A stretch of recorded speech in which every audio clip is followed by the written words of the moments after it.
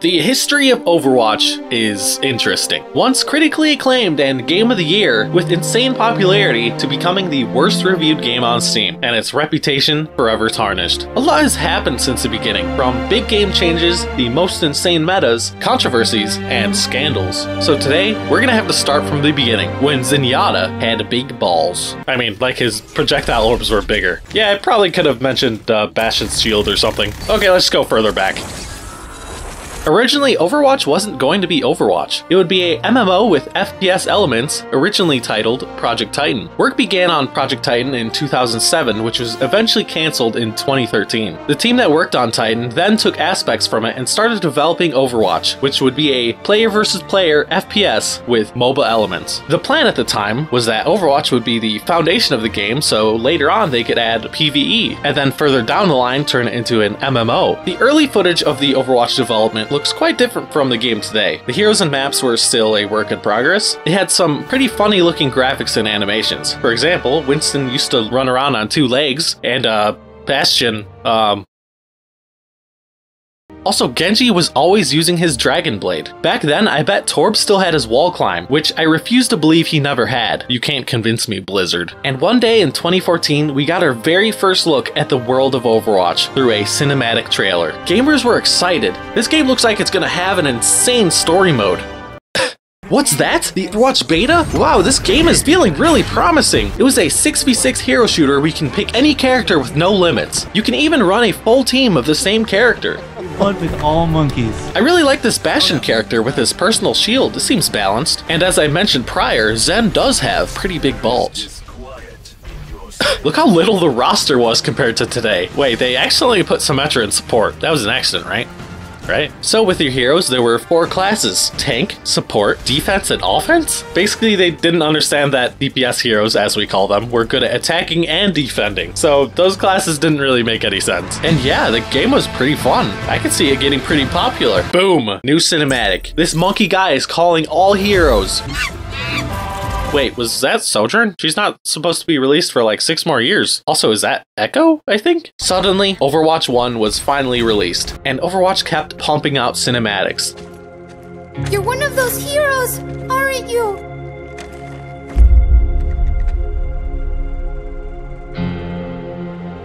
Not anymore. There was a total of five for the release year of Overwatch, and they were mind blowing. When it comes to animated cinematics for video games, Overwatch just did it best. I'll never forget when I saw the Dragon cinematic for the first time. It made me immediately fall in love with the lore of Overwatch, and I had to play this game. But seriously, try to go back and watch the Bastion cinematic and try not to cry. I fucking dare you.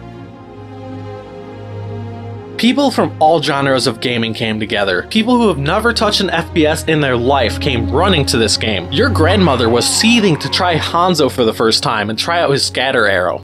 You know where I can find some ass? This incredible game became Game of the Year. You wouldn't believe the popularity this game once had. Despite the success, people started to realize Overwatch 1 had some balance issues. If you don't like Orisa or Mauga today, you wouldn't survive in Overwatch 1. The early metas weren't as bad, but they kept on getting worse and worse. In Overwatch 1 Season 1, this isn't exactly a meta, but it shows how strange competitive was back then when it first came out. Imagine both teams came to a draw. For example, you both push the payload all the way. Now, luckily, there's still a way to win. You just gotta hope that a coin flip lands in your favor. Yeah, a coin flip. Basically, the coin flip determined if you were allowed to attack again. So basically, only one team is allowed to win the current draw. Sounds fair. Luckily, they removed that in Season 2. However, there is another glaring problem.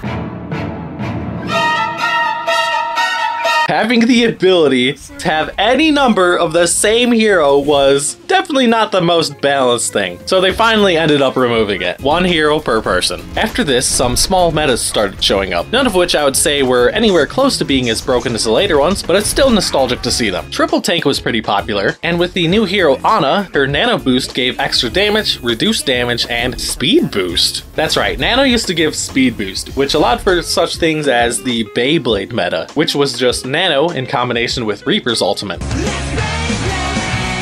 Nanoblade was also pretty strong at this point, or just throwing this nano on your Rein in your 3 tank comp. D.Va was also becoming a thing a bit, as well as pirate ship. So on payload maps in Overwatch 1, people would use their shield tanks, at the time Rein, to shield their Bastion riding the payload. The point was to protect your Bastion with your life, and he would just kill everything that comes close to the payload. There were also things in Overwatch called cheese comp, which meant playing annoying and easy characters like Torb and Symmetra. Back then, Symmetra had 6 turrets instead of 3, and an auto-lock on her primary fire, so that no aim was required. Torb and Sym had so many changes in Overwatch 1, we'd be here all day talking about them. Symmetra, floating oval shield, shield generator ultimate, which weirdly enough, new characters still get voice lines talking about it. They got a shield generator. Bloody cheats. Teleporter ultimate, Torb armor packs, level 3 turret, yada yada. You get it. Then there's also Death Ball, essentially having a tanky comp with a Lucio speed boost, and things like Reaper and Mei. God, I miss Rein and Zarya working together. After these smaller metas and team comps, here's when things got a little fishy. Metas started lasting a very, very long amount of time. Months to seasons to many seasons? Doesn't Mauga meta sound fun if it lasted half a year to a year? Huh? Doesn't that sound fun? Consider yourself lucky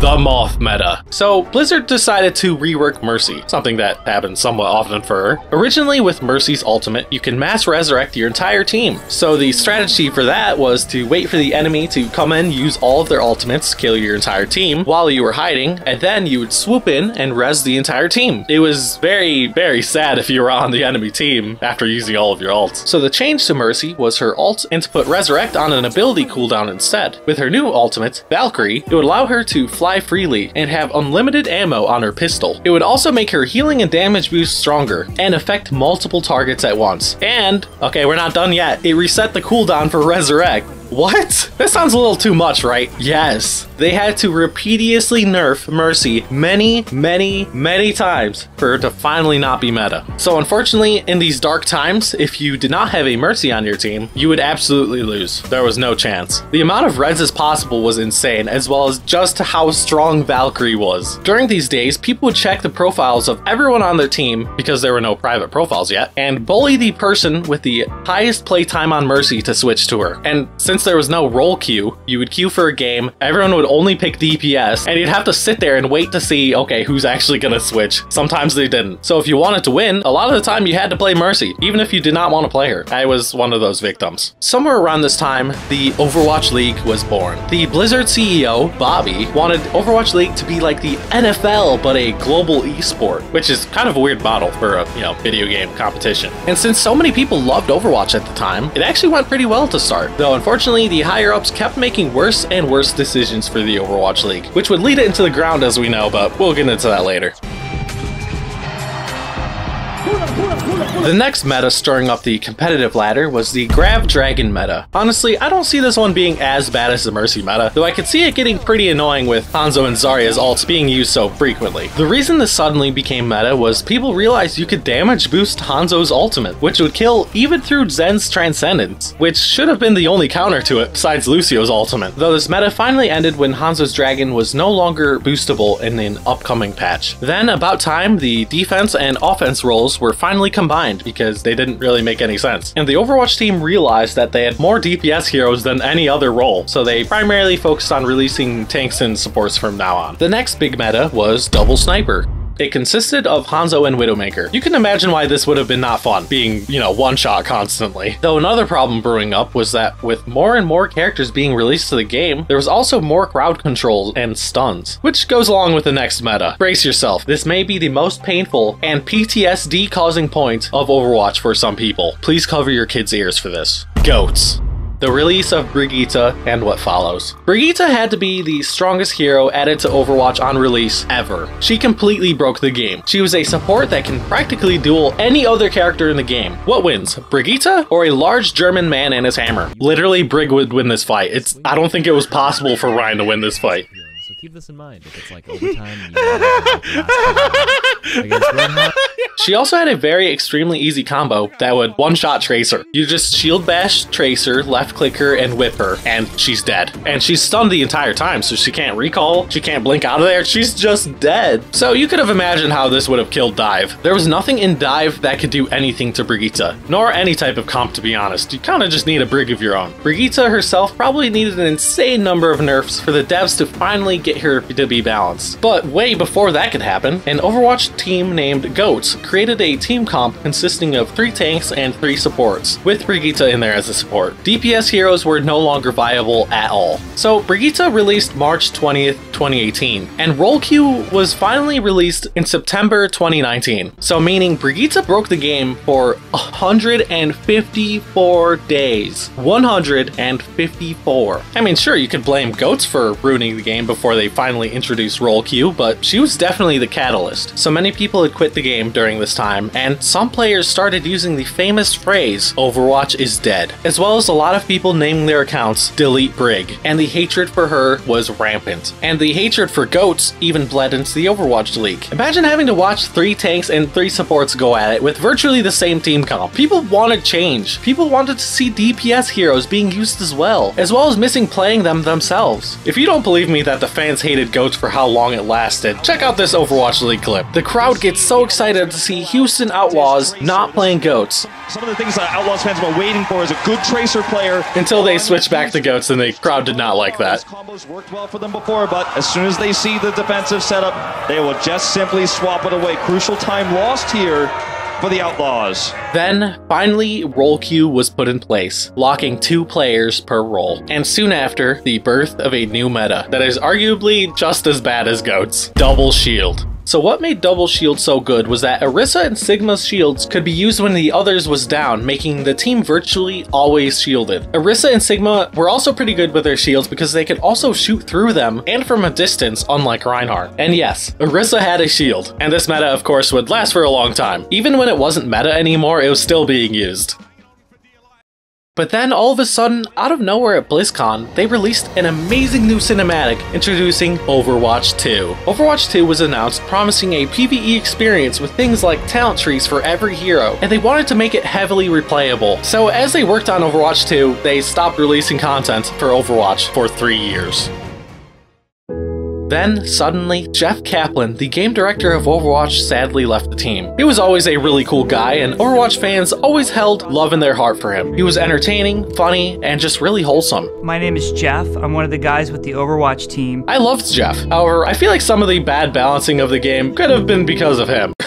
Brigitte. What the hell do you people want? Do you, just go play Mystery Heroes. And unfortunately, after that, in 2021, controversy started brewing. Blizzard was under lawsuits and claims that a lot of sexual harassment was going on in Blizzard, which did not help the game's reputation, especially when they stopped releasing content, which led to people boycotting Overwatch and other Blizzard games. Even the Overwatch hero McCree had his name changed to Cassidy due to the Blizzard employee he was named after being a part of the controversy. This controversy also affected the Overwatch League, making all the sponsors back out. A lot of time went by, and we heard nothing from Blizzard regarding Overwatch 2, and we assumed they must be hard at work. The game was slowly dying and losing players since there was no new content, but people had hope. They said that the wait would be worth it when they got the PvE and the game updates that they promised. Despite the lack of new content near the end of Overwatch 1's life, the game actually became more balanced without the release of new heroes. At times it still sucked and you'd have to face awful team comps like Double Shield, but at least more things were playable again. The COVID pandemic may also have impacted the development of Overwatch 2 since employees had to work from home and then were forced back to work in the office near the end of the COVID pandemic, and many employees who did not live in the area were forced to quit. But it is uncertain to know how much this could have affected its development. And after the three year drought, the Overwatch 2 beta and Overwatch 2 finally released.